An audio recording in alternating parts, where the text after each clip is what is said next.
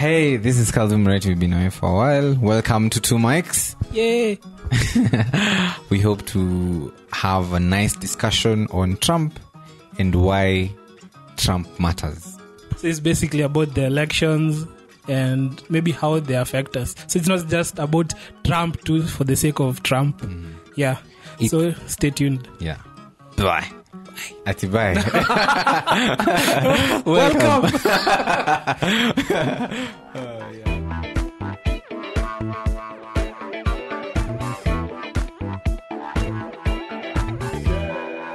Anyway, so um, welcome to today's episode. I'm joined by uh, Chai. I'm trying to start a podcast and you're asking for tea. What is what? Oh yeah, for tea. Eh? Today we are serving American tea. Like what happened with Trump? So Tito, let me ask you. Um, who are you supporting in this uh, previous election? Trump, You're Trump, Trump, Trump. You're supporting Trump. Yes. What happened? Why? Explain to me. You see, let me ex- before you actually say, um, I kind of also supported Trump, and I received a backlash. Please don't don't switch up on us right now. We were together in the Trump camp. Wh- Why? Why? Why, did you support Trump? There is first of all the the conservative uh, front, which um, I think it's it's it's more of supporting the Republicans even more than Trump because yeah. So I think that's that's the strongest factor, and then I think Trump Trump brings something different to the table. He has a certain um, alphaness to him. What? He- An alpha male. yes. Uh, So you want to say all these other presidents were, uh, Kina Obama, all of them were beaters. They're not alpha. Uh, no, I, I think Tr- Trump is Trump is an alpha in, in a very interesting way. Yeah, like he doesn't he doesn't he doesn't give a damn. He doesn't care. He does he does not care about um, the decorum. I don't know a president should have. Not that not that um, I, I I support that hundred percent. I think I think some some some level of decorum is, is is nice, but he's not your typical politician who's all just about words. Yeah, for me, I feel like he's he's someone who who's about action and, and, and results. But now you see, now the thing is, um, an argument that people have been having against him is the fact that um, it's a bit. In fact, I had a, a, a very long, um, I would say, discussion on Instagram with someone. Instagram is the weirdest place to have a discussion with someone. That was not a Well, discussion. If it happened on Instagram, Trust me, there were very long compositions that were, that were typed, and uh, she is she is a conservative Christian, and uh, she was surprised that I mentioned that I was supporting Trump because um, she her concern was the things that quote unquote Trump stands for, uh, uh, uh, misogyny apparently. Um, apparently, Trump also stands for Misogyny? Yeah, misogyny and Biden doesn't. just let's continue. Uh, let me give you my point. Okay, okay. so um, she was of the opinion that um, that Trump uh, is is not doesn't look or sound uh, or produce things from his mouth and his actions that a Christian embodies. Um, she was of the opinion that um, through his actions, um, Christianity has been brought to disrepute and um, she was surprised that someone who claims to be a Christian can support Trump. So, what do you think of, of now these issues of um, people who would question um, Trump's character as a deal breaker for a choice of president? My response to that is uh, running a country is not just about the personality and, and character. Running a country is about policies. It's about um, the decisions that are made, decisions about taxes, decisions about running the economy that affect people. As far as I'm concerned, if if I have a president who is willing to do what needs to be done, uh, for me, I don't I don't care that much if he's pre- uh, presentable or not. Now, what about the fact that now you see, uh, women will say um, he abuses women and he he thinks women are things. Uh, if, if there there are clips of him saying um, and advocating for women abusing one form or the other, or ob- objectifying women. Um, you see, now to very many people, this doesn't look presidential. And and remember, as a president, as a president, you have a responsibility. Uh, maybe Kevin Kabingu, you can respond to this. A, a, a, a president, you have a responsibility to inspire. It's not just about leading. It's not just about um, you know uh, making policy that brings jobs, blah blah blah, but also inspiring hope uh, in the community, inspiring people to love uh, being uh, citizens of the country. So, in that respect, how do you think Trump fared? I think to me, most like normal, casual Joe in whatever in the US doesn't care about that. Most of them actually think Trump is better because he actually doesn't act presidential. He acts like, I know this kind of person. But it's you see, Kevin. Uh, I would say uh, Trump. sub- Trump's base is what would agree with that statement, but the fact that um, a majority of Americans have worked uh, to defeat him in a such big way could be an indicator that it was his unpresidentialness might not be a broader um, a broader thing uh, uh, that appeals to everybody, but probably that appeals to just his base. I think weirdly enough, it's it's more he's got it's mostly white people who didn't vote for him this time. More minorities voted for him this time than before. But Kevin, I don't also sorry to uh, No, disrupt see, you. I'm, I'm, I'm, it's like I'm trying to say, yes, the people who you are saying might be the ones who may be triggered by Trump came out even more this time than they did last time. But how many? Do you know the percentage of black people in the U.S.? It's 13%. Exactly. Yeah. Do you know the percentage of Latinos in the U.S.? I don't, six or seven. No, don't know. no, they are they are more than black people, but slightly but around like, fifteen. I- so you can't But say. for Latinos, it's it's not the same. my, my point is, you cannot say that uh, it's it's majority minor. Uh, it's a, ma- a majority of Trump's vote Yeah. are minorities. You No, no, no. I'm I'm not saying majority. Mm-hmm. I'm saying compared to last elections, the way the way like minorities voted last time. This time the percentages the, he had more percentage in each demographic of minorities than he had last time. It's only the white people that went down. So I, it's like the people who most people think, um, like people advocating or think are the ones who Trump uh, might hate Trump, are actually the people who seem to be moving more towards him. Even I think most, more often than not, people are mostly selfish. Yes, you might say, yes, he doesn't respect women and nini, but someone else will hear, or tax breaks. Um, the way my bank account is set up, I'll vote for Trump. I don't care. yeah, I don't care. I don't care for it. Yeah, I don't want to be twenty cent. Yeah, so it's there's that appeal, like he said, um, that machismo machismoness he's saying.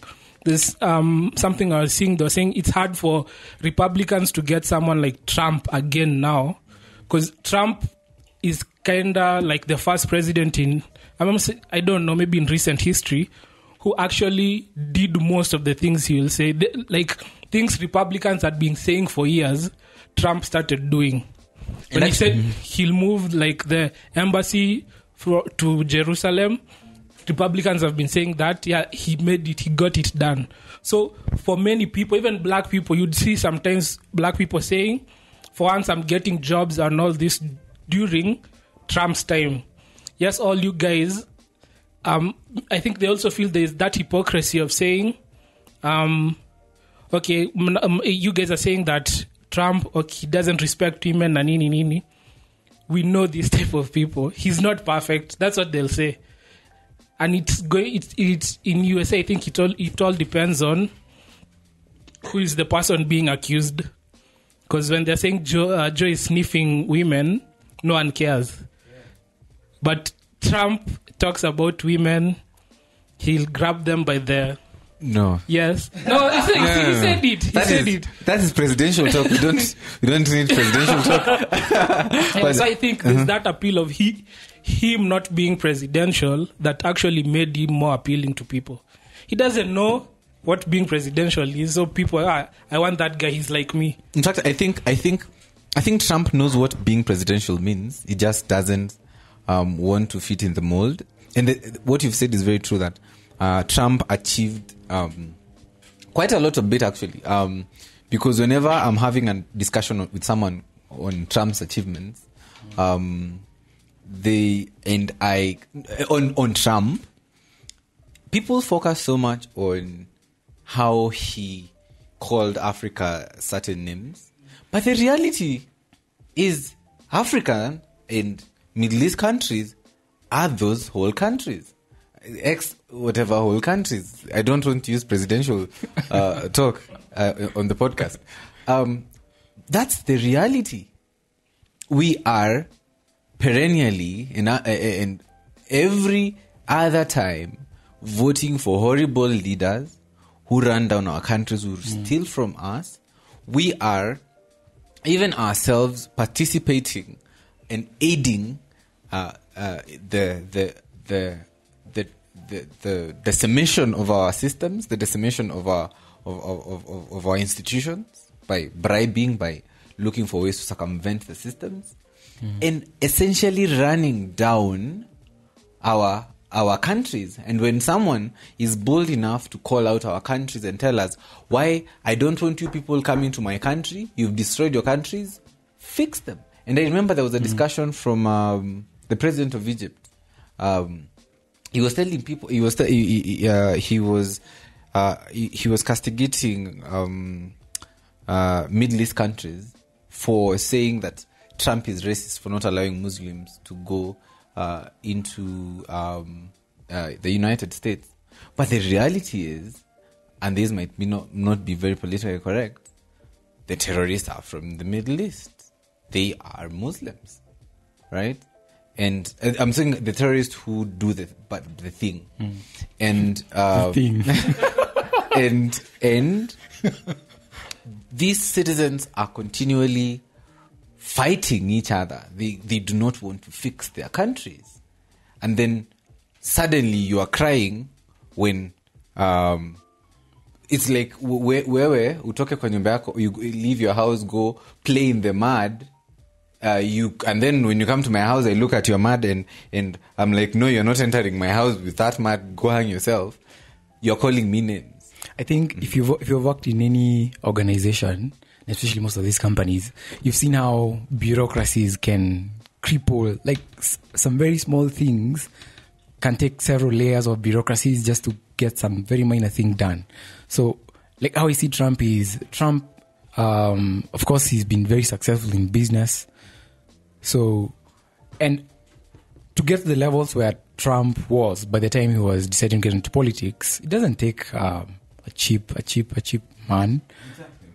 So I think Trump saw um, like all these inefficiencies in the government, exactly and and he ran for office. Um, in the debate, there's this he was telling, there was this thing he was telling Joe. Um, Joe, I ran because of you. If you guys had done a good job, I, I would not have run for president exactly and so, mhm. and and for me that's that's that's where i i fall in love with trump. He's he's here to get things done. And and and you see essentially um i was reading i was reading uh, some article that was saying that how the us senate and uh, congress was designed by the founding fathers as they call them was to essentially make them not work. It, they were they were designed that way to make sure that the constitution isn't uh, changed willy nilly um, to make sure that um, we are not uh, creating uh, laws that are making a president extremely powerful. So you find that a law, how how how how their their lawmaking process happens, is that uh, a Congress person will, uh, w- let's say a law is starting from Congress, for example, uh, uh, the, the House, the House of Representatives. So uh, a representative will draft the law. It will go into the subcommittee. Mm. It will be voted for there, and many laws die there because if it doesn't get a majority in the subcommittee, it will not be discussed in the main house. So many many laws die there. If perchance it passes there and goes into the House of Representatives, again there are laws on the majority that can pass it. After it has passed that, it's now passed to the Senate. The Senate, the same thing happens. So they can vote to pass it, uh, and if they vote to pass it, it's handed to the president, who can veto it. Senate can veto the president's veto. Like it's the, the founding fathers of the United States structured um, Congress essentially to be um, quote unquote ineffective, to make sure that we do not have tyrannical leaders coming up in the United States. And that's why Trump was an anomaly. Trump comes and he shakes everything up. He's looking for ways of going around Congress to get things done. And the beauty of Trump, and, and it's a challenge that Biden is going to realize, is that the moment you do not have a majority in, in Senate, because essentially Senate is is um, the, the, let me explain why senators' terms in the United States are six six years and Congress is four or two years, depending on how you look at it. Is the Congress was made to be senior. Uh, to be a congressman, you're supposed to be senior, to be older, to be wiser. So you're, you're supposed to make decisions that are not necessarily popular with the citizens. Uh, uh, representatives are supposed to pass policies that are popular with the with the people because you'll be answerable to them after two years. But now senators, they they were elected to make sure that they are the parents of the United States. They will make decisions that might not be popular with the people, but are good for the country.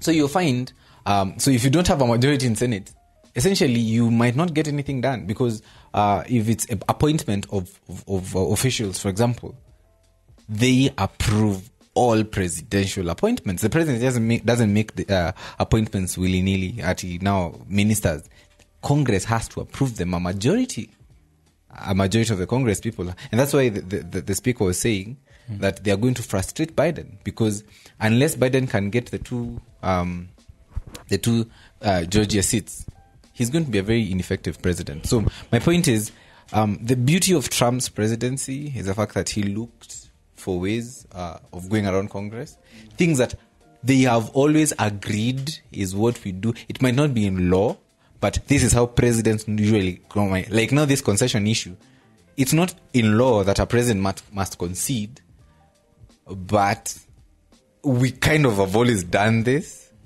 So Trump is like, no, if it's not in law, go, go hang yourself. Okay, I wanted to say um, on that concession issue, I feel like you see the US, the US normally like to portray this image of America as this superior power, this this mature mature democracy that, that should be able to lecture every other country on how to run around their affairs. So I feel like the um, there's a good number of them who are embarrassed even about whatever Trump is doing because they feel like this is such a a stain on our even even when they are when they are, they are clear there's clear evidence of fraud and um, and election theft. There is no. Evi- uh, I'm going to stop you right there. There is no evidence that, there has What- been. what do you mean any, there's no evidence? There is no evidence that there has been any um, election fraud. That, that's a fact. Because There has been evidence. no, no, no. You see, um, Tito, I'll tell you what. You never watched that video, did you? By Breitbart, by these people who are Trump's trumpets. You see, the thing is, uh, the reality is, if So you uh, watch another video by someone who doesn't support Trump. No, no, no. I watched. I've watched news of of uh, of of, of News listen, by- hear me out. Okay. Over ten cases that have been filed uh, in different courts in different states. Um, Trump has lost nine out of ten. Uh, one is still ongoing, as in the, the court has thrown them thrown them out uh, because they are not providing any substantive evidence that there is a coordinated there is a, a coordinated uh, effort to steal the election. And number two, the question becomes um, if indeed Biden was uh, stealing the election. So you want to tell me they were so careless to just steal the presidential election and leave out the Senate, uh, uh, the Senate, uh, uh, the Senate seats that were up for re-election, essentially making him a useless president. If I'm going to steal an election, I'll do what Magufuli has done: steal the presidency and steal all the positions that are going to make me an effective president. So, um, yes, they are saying that there has been theft, but there is no uh, evidence that there has been a coordinated, widespread, um, Democratic Party censored effort to rig the election. Because definitely there might be irregularities. Even in Kenya, irregularities come up even when someone didn't necessarily do it uh, sent by the party. But are you saying dead people voting that's an irregularity? Uh, and that's what I'm saying. My point is, dead people, if dead people. And it's not dead like last month or last week. It's people died in the 80s. Let me, let me, let me- so my point is, 170 years old. you see, you see, Tito. I- I'm saying, uh, there, and that's what that's what I was saying. Sometimes you might find that people do. Th- for example, let me give you an example. If if someone uh, uh, comes and stabs people in Kino, I'm doing this on behalf uh, because Uhuru did the thing, you know. So my my question my question becomes What's with you on this thing? no, my question becomes no, no, no. I'm asking. We cannot blame that on um, on Uhuru. It's like, for example, the post-election violence.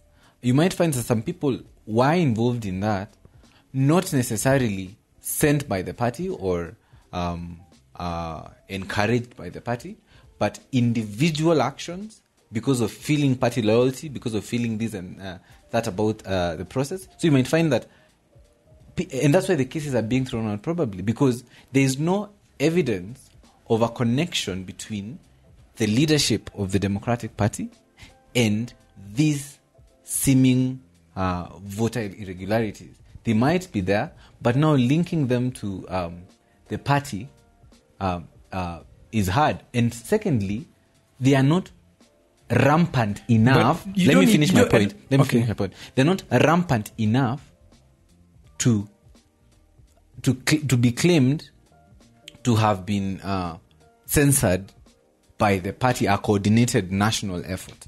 That's the point. I'm, I am a supporter of Trump, but and then the other question also that people are asking: Trump Trump is having an issue.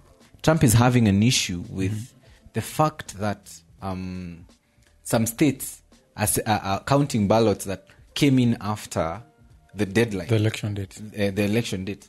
But in states where he's won, where that is allowed, because essentially, if a stamp says I, this was sent, uh, you know, within the time frame of an election, yet it's delayed to get to the uh, t- tallying station, Trump is is against that. But no, in states where he has won, there is no dispute for that. So now the question becomes: Are we? Are they really following the law? Because if you're going to follow the law, follow it uh, across board. My my concern with all this is um, we are getting all this from the media, and there's a very significant um, Where would you rather get part it of from? the media. From our prophet. Just listen. There's a very significant uh, group in the media that is so much against Trump, such that even if there were actual evidence, it probably wouldn't make it to, to, the- to the TV. So I think I think we need we need to we also need to um, check these biases that are in place. Do you think because these Fox- biases are there? Do you think Fox News supports Trump? Well, I, I I don't know. It is true, Fox is very pro Trump, but also we've seen them cutting off Trump's uh, uh, briefings, and the, uh, the the spokesperson of Trump uh, uh, cutting him her off uh, because she's spewing. I, I don't say nonsense, but she's spewing he- he- hearsay without facts because facts are very important. Lack of facts is very, very dangerous, especially coming from the highest office in the entire world. It's very, very dangerous for you to say such th- those kinds of things without concrete evidence. And that is where I'm having a, an issue with Trump. I, I supported this. Let me tell you, I'm going to be very clear. Personally, one of the reasons why, and, and, and maybe our listeners might be wondering why we are so much uh, pro Trump, pro American politics, let me tell you why I think um, I supported Trump. No, Trump- you supported Trump. Yes, Trump is a vileful person. Honestly, Trump uh, is not the kind of person you invite to your party. He's going to make people hate coming to your party uh, uh, because you make everything about himself. And he, I can't finish the bad traits about Trump. But when it comes to trade and how he handled um, he handles countries, Trump doesn't believe in uh, having trade discussions with blocks of people, blocks of countries. He wants individual countries. Kenya, we were in discussion with Trump for bilateral free trade area between Kenya and the United States. Would have brought very good opportunities for our country. Um, definitely, uh, uh, would have gotten also a lot of agricultural products coming from the United States. But it would have been a very good opportunity to even going to the United States and living there, United States would be it would be easier, and also the inverse, of them coming also here, like bilateral trade, a free trade area between the United States was going to be immensely good for our country. Tanzania and all these other countries, African co- community and African Union, was against this discussion because they felt Kenya is stabbing us in the back. We had an AGOA agreement. AGOA was now, I think, with Africa. AGOA is going to expire. So uh, Trump was, uh, we are going to replace AGOA with Kenya discussion. So, like, why is Kenya uh, doing the thing? Like, why are they uh, uh, going it alone? you know, why, why, why, why are, are they going it alone instead of, you know, having a unified uh, discussion? That was going to be, that's why I supported Trump. But honestly, I do feel like um, this rhetoric that he's spewing right now um, is very dangerous. You know, I, I honestly feel that what Trump is doing right now is just what is just in his, just in his um, alpha self. Like you, you can't just get something grabbed, snatched from right from under your nose. But Tito, like it's it's the, the margin thing. is too big. The magic, the margin is too big the, it's the same to thing have Raila been has in. Kenya. Raila, even when even when it's so clear, he just has to He doesn't and- accept defeat, and that's that's a sole loser. That shows No, that's not a loser. No, that's a sole loser. if you're that's not, not a loser. if That's you're how, not, that's how Trump became the billionaire he is. you see, I agree. People think Trump is an idiot. He is not. That's why me and you are not billionaires. We are trying to. That's why you have a podcast. You, you do not have become. You don't have a podcast because I you're think rich. that applies more to you, more to you than me. you, you- you don't have a podcast because you're rich. Uh, th- Trump is um, he- he's, not a- a fool. he's very smart. He's a very sharp guy. Shrewd. Let's call it shrewd because shrewd. Uh, He's very intelligent. That's what I'm saying. Trump is shrewd. He might not be the most intelligent person, but he knows his way around business. He knows his way around economics, and he knows his way around making people play his game. He's very good at controlling people's He's very good at emotions deals. emotions and uh, uh, he's very good at controlling people's emotions. That is that is that is true. That is true about Trump. But I'm just saying that this rhetoric that he's spewing right now is very dangerous, coming from the highest office in the United, in the world. Very very dangerous. for me, I think if uh, like the law allows it, right? If you feel there's a dispute in the election, you can take it to court. Mm-hmm. So the law allows it. Mm-hmm. If he feels he wants to take that nini, he wants okay, he wants to say, I feel that the the election wasn't fair to me. He can take it to court. Mm-hmm. If it, it's a provision that is given, so it doesn't matter. Most of the time, the thing we're arguing is how things used to be done. But for him, he he doesn't care. About convention. Yeah. Mm-hmm. So it's like if there's a chance, mm-hmm. maybe he's just drawing stuff ish on the wall and see what uh, and he wants to see what will stick. But maybe if he gets something, it might. He's just trying. That's what I'm thinking. But if it's a provision, he can do it. So maybe until it happens or mm-hmm. it passes, there's no point in arguing about it. He's just exercising his right. On a point, uh, uh, something you had said earlier about your Christian friend saying why you should support Trump, mm-hmm. maybe from what I've read in the Bible, is most people who even God chooses are not necessarily the best like role models we see in society. I think if you if you had met Jesus working with Akina Peter, you'd be surprised that these are his disciples because we, we read that Peter was a very foul-mouthed person. Was it? Yeah, Really? yeah, they say he was a very foul-mouthed mouthed person because of the kind of environment they were in. But again, you see, he's not the president of No, Israel. but but you see, he's grooming him. He's grooming them. Uh, um, yeah, because they're they're being groomed to be the people who will lead there. So uh, it's that's just even one example. Most people who you see God choosing, I don't know how many people in the Bible can we definitively say this guy was a good person, even the, during the time Jesus or God was choosing that person. very many people. It's very, Very few. many people. Hmm? I, Adam. After I was listening from the beginning, was, and he, was, the pure. perfect one. I was- if, if he was, he was supposed to vote for someone, you'd have voted for Adam, but he fell. After I'm But saying still- from the beginning. still- yeah. So it's Um, at the end of the day is checking which side, according to the kind of beliefs you have, Hmm.